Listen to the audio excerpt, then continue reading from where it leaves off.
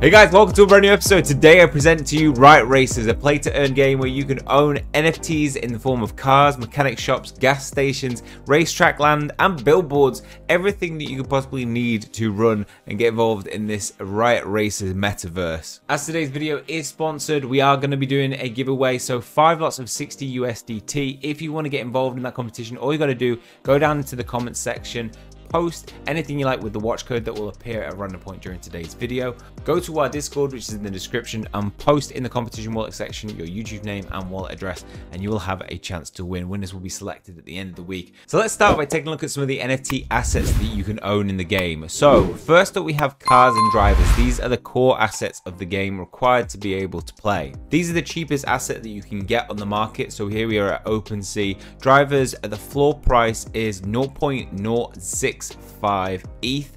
Uh, this can be bought on Polygon, by the way, so you're not paying extreme gas fees or we have the Riot Racer cars that start from 0.11 ETH. So a little over $300 to be able to get a car for this game and a driver to be able to drive it. Now, if those prices seem a little bit too expensive for you, you will be able to rent assets in their new rental marketplace. Because they're creating a metaverse, they go beyond cars and drivers and have gas stations. Now, gas stations are the most expensive item in the game because they're extremely rare. There are only 20 of these in existence The floor price of these is 14 ETH, and these will generate you the Riot token on a monthly basis.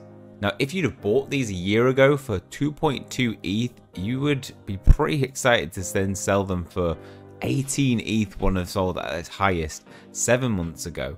$51,000. That is some huge profit. If you're looking for some real estate in this game, you can go a little bit cheaper with the Riot Racers racetrack land. So the floor price for that is 0.179 ETH, so around about $500 to be able to pick one of these up. And you can earn Riot tokens for the tracks being raced on by certain classes. Now players can race on designated racetracks based on the car racing class. Owning the racetrack land pays out Riot tokens monthly based on the class of tracks owned. Another fairly expensive piece of real estate is the 2.9e floor price Riot Racers billboard land. Now this is really really good because you can actually advertise in game on these billboards. So if you wanted, let, us say another racing game came along like Nitro, uh, Nitro League, and you said, okay, I'm gonna give you some advertising in Riot Racers, who already have an existing, you know, player base of car enthusiasts having your advert on here will benefit you because you're drawing customers from the same, you know, same mix, same genre. So actually they could pay you $2,000 to display that for a month. So you could see some return. You're going to have to be a little bit proactive with it, I think, if you're going to do that. But I definitely think it is something that has value within the game. And then finally, we have the mechanic shop. So racers will be able to bring their cars to a mechanic shop to buy and install upgrades. Owning a mechanic shop will give owners discounts on car upgrades and even Riot tokens monthly for holding. So it seems like the mechanic shops have a lot of utility to them, but you are going to be paying that premium of 1.85 ETH minimum to be able to pick one of these up off the marketplace. So now you know a little bit about the NFTs, let's take a look at the token. So Riot Racers token is RIOT, Riot token, and you can pick this up on ETH or you can pick it up on Polygon. Now the token is at 14 and a half cents at the moment, currently has a fully diluted valuation of 36 million. October the 21st was when it was recorded on CoinGecko and it started at 26 29 cents so it has come down 50% from that position went all the way up to almost one dollar uh, before coming down obviously market conditions will affect every single token out there. The token will have a lot of utility for across the three games riot rampage riot rush and riot metaverse. So you've got breeding rentals play to earn governance tournaments land upgrades all requiring the riot token. The token distribution is as follows. 45% for play to earn, 25% for reserve, 20% team, 5% operations, and 5% player incentives. So as I mentioned, there are three games. Now the Riot token powers those three games. The first game is a game racing where you are racing your car versus other people. Racing Team's public release was on April the 14th and Season 2 started April the 14th. Now we move forward into Q2 of 2022 We're going to see 3D race playback, spawning, rentals. So spawning is going to be the version of breeding, tournament races, and Riot Racers Cup series.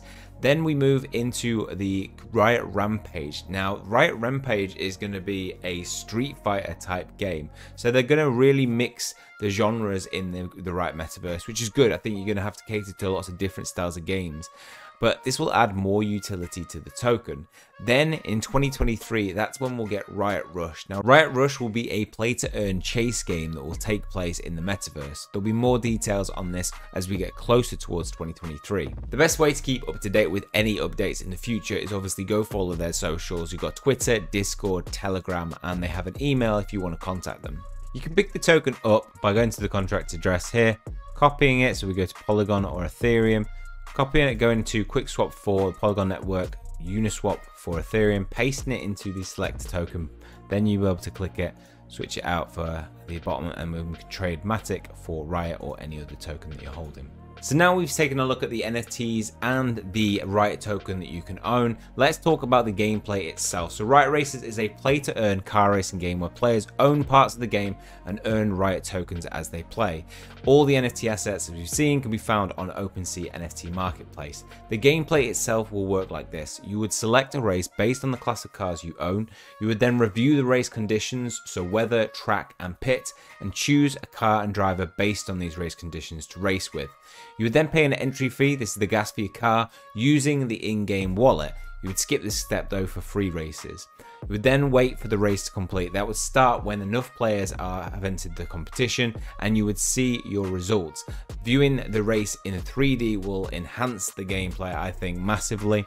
You've got winners of the race receiving a portion then of the prize pool, which is made up from the gas fees of the race. So first place will receive 50% of the prize pool, Second place 30% and third place takes home 20% of the prize pool. Winnings will be played uh, paid out in Riot tokens. So as you can see, the prizes that they're giving out are not going to be, you know, you're not going to be earning more than you've put in unless you get first place, which is going to mean that the token's going to remain fairly stable. You're not going to see people just selling off more tokens that they've made through continuously playing the game. So I think it's definitely sustainable in that sense. So a lot more stable economy. Then we have Riot Rewards. As we mentioned before, owners, mechanic shops, racetrack lands and gas stations will earn a portion of the car upgrade fees and the race entry gas fees in Riot tokens.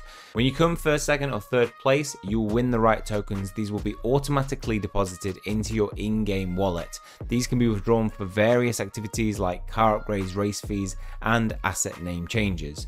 Now owners of the Genesis collection of cars can join the Riot Owners Club. This is a exclusive club where members can earn Riot tokens at varying levels depending on your ROC level.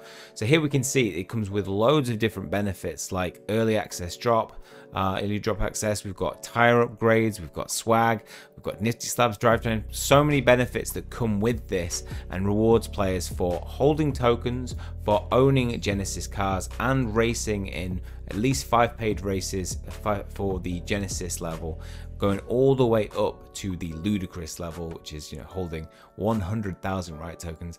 And these include things massive like a big NFT giveaways, so a special edition, fully custom legendary class car. So once you have your assets, you can go to the website and then go to race. There you'll be able to select a race. So obviously you're taking a look at the conditions. So you can see here for some of them, the gas entry is free. This is the racing school. So this is the play to earn aspect where you don't have to contribute any gas entry fee. So you can see the prize pool for this one is 4.5. You've also got the location, car class, and the how many races there are currently in the race. So we've got three out of three, so this one will commence. If you've got two out of six and two out of three, you can enter, and then once it's full, the race will begin. So you can see here that some of them, uh, the gas entry is free. This is the racing school, the play to earn aspect, where you can earn Riot, in this case 4.5 Riot. Uh, they've also got the conditions, the location, and the car class needed. See, it's got 3 out of 3 on here. Once that race is filled up 3 out of 3, or 6 out of 6 in some of the cases, the race will begin. You can also use the filter to select ones that, that you're looking for. So rookie class, we can see, and here we've got some actual paid ones where the gas entry is 5 Riot here with a 27,000 Riot prize pool. You can take a look at the pending races that you're in you can see the results of the races, the teams, and also the leaderboard. So here we can see the top drivers, the top cars, and the top users. So here we see Takashi is in first place with 10,487 total races, 3,503 total wins, win percentage of 33%, top three. But there we see driver Hat has a win percentage of 67.2. So whilst he's not got as many total races and total wins, he's definitely probably making better returns than first place. Now newly added is the renting feature. So if you click on rent, you can choose the cars and drivers that become available to actually uh, make earnings from. Now, there's no cars currently available. I just picked up one off the marketplace and we have drivers. It's very, very easy to use. You can see, obviously, there is a difference in terms of the percentage that you will get from these winnings. Now, if you go right to the end of this page, you'll see that the, the percentage that you can earn is much higher for these. So 95%. Now to rent it's very easy. There's no gas transaction. Rent successful. I'm now renting 7714. That means that in my account I have a driver, as you'll see in my rented, but then you will also need a car. Now there's no results found at the moment because there aren't any cars on there. There were two earlier when I looked on this, um, so they're obviously in, in hot demand. You will need a car and a driver to be able to race, but then once you've got one, you can actually take part in some of the free races, making sure of course that the car class is the right one. At the website, you'll also be able to check out your account. This will give you an overview of your cars and wallet and activity. You have your profile, you can take a look at some of your assets. You can do this also in the assets section. We have the drivers where you can take a look at the different ones you have. There are four types, so earth, water, wind, and fire.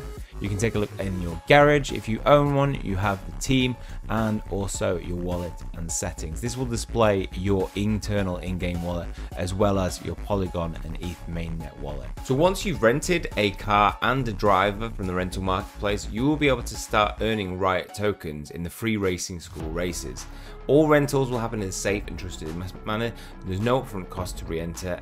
The cars and drivers will stay rented to the players until they release them, or the asset owners can also take back rented game assets at any time if they think the renter is not utilizing them well. To participate in races, players can select a car, driver, and their racing strategy for each race.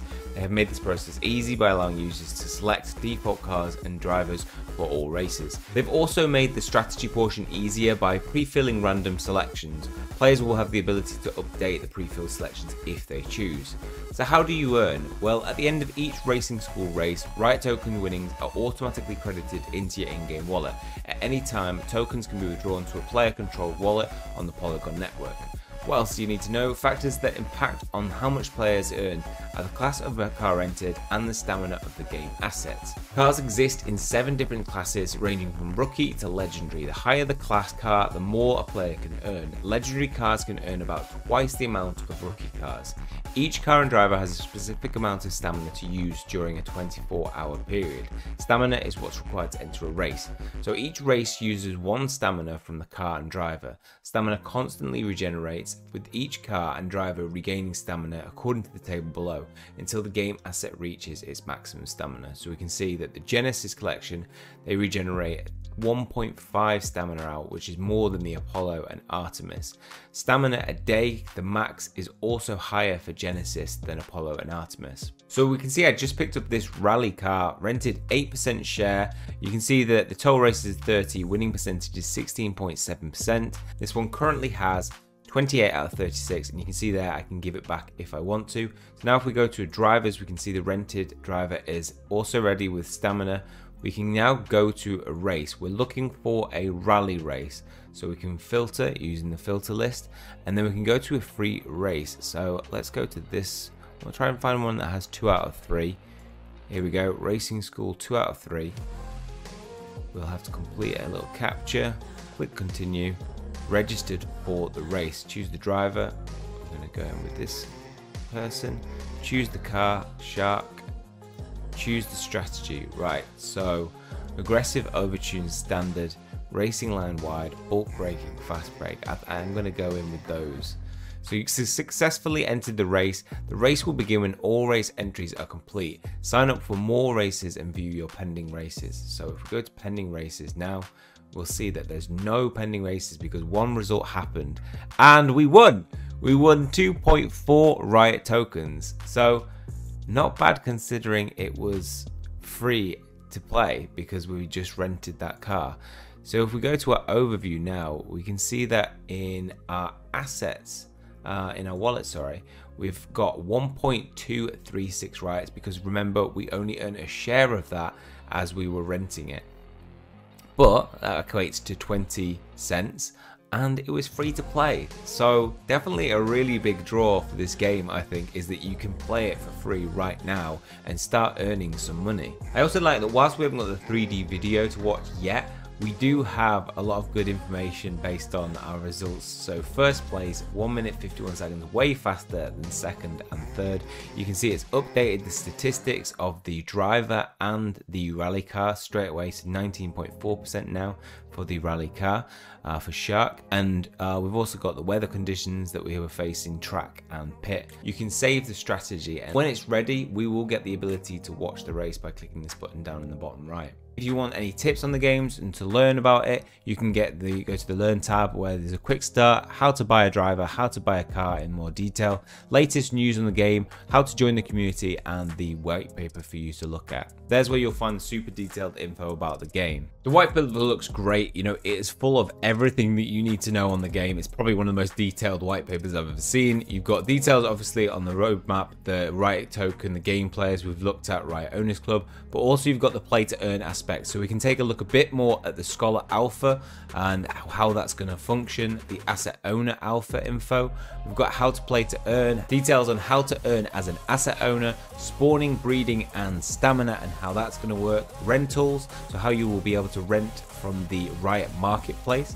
You can then take a specific look at the cars. So the collection, the Genesis collection consists of 3,333. Remember, that's needed to be able to become an ROC owner. But then there's also a second set of cars, the Apollo collection, which consists of 7,777 cars. We've got different car classes and the XP point range that you'll get for those classes. Obviously, in the legendary, you get significantly more. The factory class and current class. We've got the car upgrades that you can have. So the car upgrades that you can make are on the engine, the tires, and extras like NOS system, so that's nitro, you got a supercharger, dual exhaust, drivetrain, and performance chip.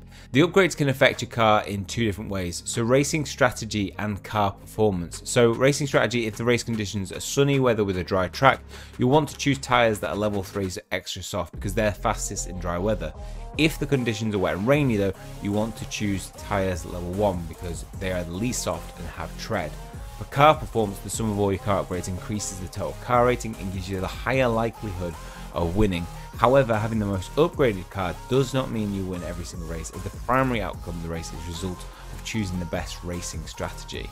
Now we've also got different car colours that you can add so we can see we can go to the factory and take a look at them which is really good so you can actually affect your and change your nfts that you own personalize them to how you want them to look We've got car rarity resources as well. So this just details the different rarities that you can get. How we've got five legendaries from the uh, Airbender model and all the other rarities for the other types of car. The white paper also offers specific information on the drivers. Here we can see that there are 11,111 Uh, Genesis drivers available in their collection. Racers will have different traits in terms of their how their what their facial expressions, hair, hats, how they look, but also in the the type that they are. So Earth, Wind, Fire, and Water, they will each be better suited for specific race conditions. Also, each driver will have varying levels of the following traits: speed, braking, handling, endurance, and vision. The value of range of each trait is between 50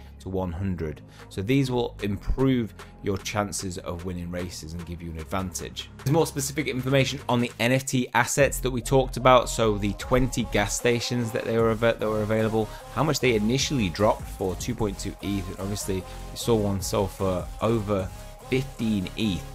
So somebody made a huge return if they picked it up on the very first drop. And it's a big investment to make, but it is that, you know, holding it for a long term. We're a year down the line and somebody's just done massive X's on that. We have the mechanic shops as well, how much they were worth, and details on the benefits that you get. So 15% discount on all upgrades for cards, earning Riot tokens, customizing the name of your shop. You've also got the racetrack land and details of how that works, so the different types of lands that you could own, and also the billboard land and how that will work. Initial drop for that was 1.1 ETH. There's details on the Council of Racers, which is established to give players influence, a say in the game decisions and operations, so it will work very much like a DAO. You'll have votes to be able to influence proposals, major game changes and additions to the game, and then we also have Riot Racers inspiration. So just details on what where the inspiration for this game comes from, and a bit about their big vision in the future. One of my favorite things about the project is this. So their YouTube channel, you've got some um, key tips, 0 to 60, they call these little segments, where you get some tips on Genesis drivers, what are Riot Racers, Genesis cards. So you can come here for some specific tips on the game. So if you're wanting to learn about the Genesis drivers, how these traits are affected and how they'll play in the game, looking at how to purchase them, overall ratings and strategy, then this is a great place to come. But my favorite thing about their YouTube channel is this. So Victory Lap is an episode that they put out and it talks about the actual winners in the game. So breaking news, who's placed where, what and I think this just adds so much personality to the community. And it's that recognition I think that is really good. You know, you're actually playing because you also maybe want to feature in the next Victory Lap episode. They also feedback on any giveaways, so I think it looks like here they gave away a real BMW. Wow. So somebody won that. Second place was a legendary class Riot Racers car. So here we can see the guy feeding back on the competition that took place and the final four that were in getting you're battling it out for the championship. We see Shelby versus Ferrari. They also give updates on sales. So I think it's cool because you like you actually could make a purchase and they could actually feature you in the victory lap as well as giving you updates from the team. This kind of communication really should be replicated across all projects, I think, because it just means that you're getting direct feedback from the team, you got a face, and you're being told exactly what's coming up. So you know that, okay, well, I'm holding these assets, there's big plans for the future. So I really like the metaverse that they're building. I like the fact that they're tapping into different genres. Their project itself has already received a lot of attention. It's been featured in some major articles. So we've got Cointelegraph doing a feature on them here talking about the first drop. It's featured in some popular crypto podcasts as well. So I think there's a lot of reasons to be bullish on this project in the long term. I think they have built a stable economy, not one that is just churning out tokens that you can sell. So if you're interested in racing games, this is definitely something to be involved in. Also, it's something to keep track of via, you know, definitely engaging with their social media so you can keep up to date with the street fighting type game that they're coming. That's probably more up my street in terms of game. So I'll be looking forward to the updates on that. Okay, let's get into learning about Riot Racers. Okay, well that's all for this one. Hopefully you guys have enjoyed it. Take a look at it. All the links to this will be down in the description below. If you have enjoyed it, please leave a like on the video. It always helps the channel out. Hit subscribe if you want to keep up to date with future content. That's all from me. See you guys soon.